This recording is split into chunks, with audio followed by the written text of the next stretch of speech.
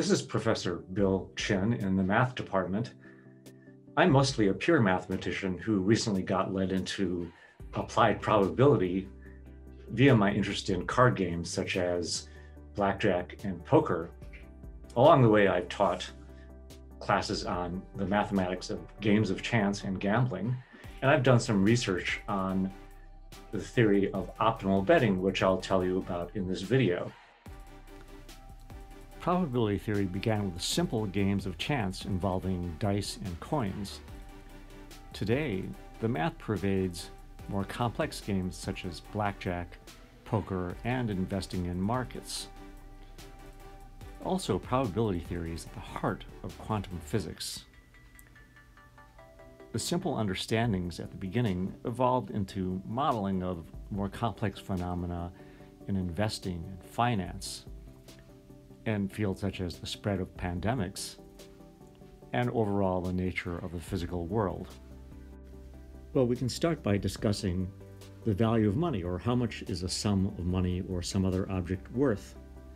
Daniel Bernoulli in 1738 said, Utility, or the value or worth of a small increase or in wealth is inversely proportional to the quantity of goods previously possessed, meaning that how much some sum is worth depends on how much you had to start with.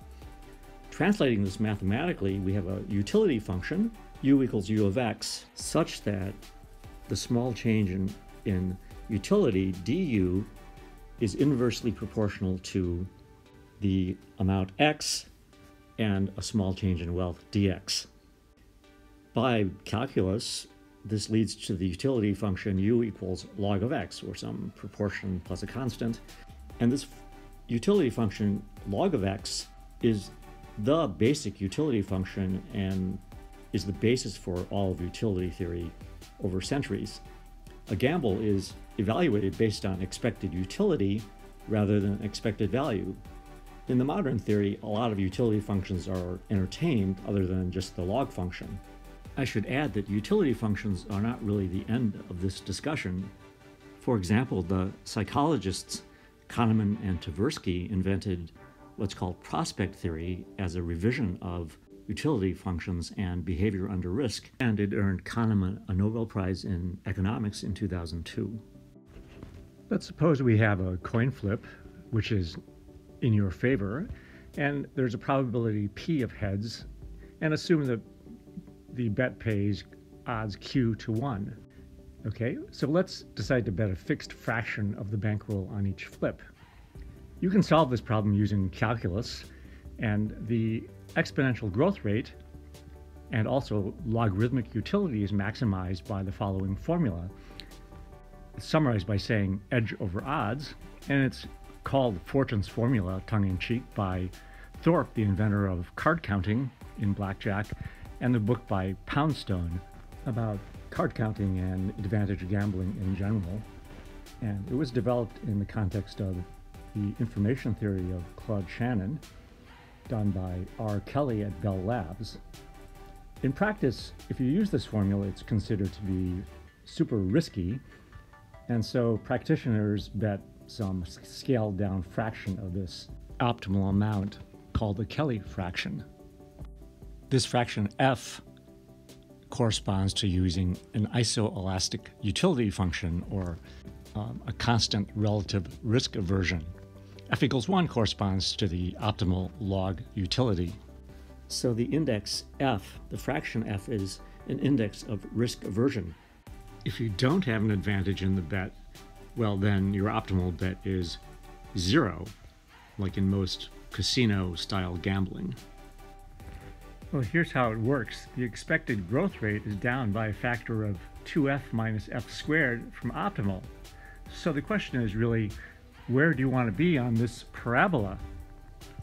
We have uh, at f equals 1, the optimal bet, and then if f is greater than 1, your growth rate decreases, and it's the same as what you can get at f less than 1 with less risk at f equals 2, by the time you get to f equals 2, your growth rate is 0.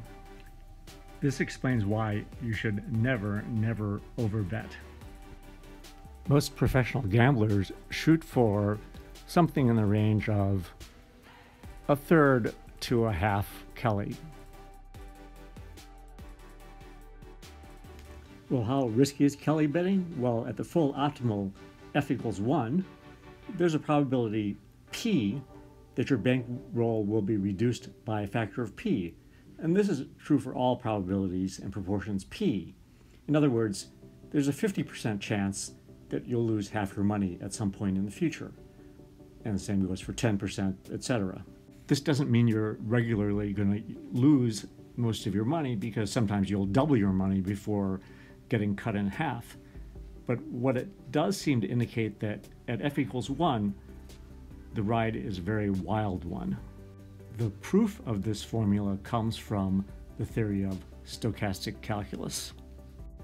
To make things more broadly applicable, we use the stochastic differential equation as shown, which results in geometric Brownian motion. Now, mu is the edge in the game, and uh, the other term is the so-called bet size, and and W, or the differential of W, is Gaussian white noise. Geometric Brownian motion is exponential growth with a normal noise term superimposed in a specific way. We can generalize further to the multivariate case, where we're talking about a vector process which represents perhaps a portfolio or many simultaneously correlated bets with a drift term m and a fraction vector k of the bankroll bet. And we have a covariance matrix C. Then we find that the asymptotic growth is optimized at the fraction as shown using C and M minus the risk-free vector. And this is due to Merton, who won the Nobel Prize in Economics in 1997. And there's a relatively simple exposition by Ed Thorp. We can note that this formulation recaptures the Markowitz mean variance optimization, which incidentally earned Markowitz the Nobel Prize in Economics in 1990. What we do now is obtain an estimator for the historical fraction based on data, and we get the estimator f hat, which I won't show here, but let me just say that we do get an approximation for the variance of f hat, which we display here. Here, v is the variance per unit time and r is the observed rate of return per unit time. In discrete time, what if you have a sequence of bankroll growth rates or excess rates? Then the bankroll at time n, say, is the original bankroll times the product of 1 plus xi, as i goes from 1 to n. Notice this is an extremely general setup as opposed to the continuous time geometric Brownian motion model we had before. Here, x1, x2, etc. are the computed bankroll growth rates over equally spaced times. Now we invoke a hypothetical formal leverage factor and plug everything in. And if you maximize using calculus uh, the sum of the logs of 1 plus L xi, then you can fish out a linear approximation, which uh, has a quite elegant form, and that yields an estimate of the Kelly fraction historically bet, which is the reciprocal 1 over L. So what we have here is a discrete time version of the estimator f hat that we discussed before. We've applied this to some data, for example, Berkshire Hathaway, Warren Buffett's hedge fund, and we've found Kelly fractions based on 30 years of data. This is in contrast to what Thorp and others, for example, Ziemba, say that Warren Buffett is a full Kelly better. He's an F equals 1 better. We found that the Kelly fraction historically used by Berkshire Hathaway has been significantly bounded below 1 for our 40 year data set. This indicates that their risk tolerance is more in line with professional gamblers, such as poker and blackjack players, and less risk tolerant than a full Kelly better would be. Estimation is continuing on datasets like this and via simulation.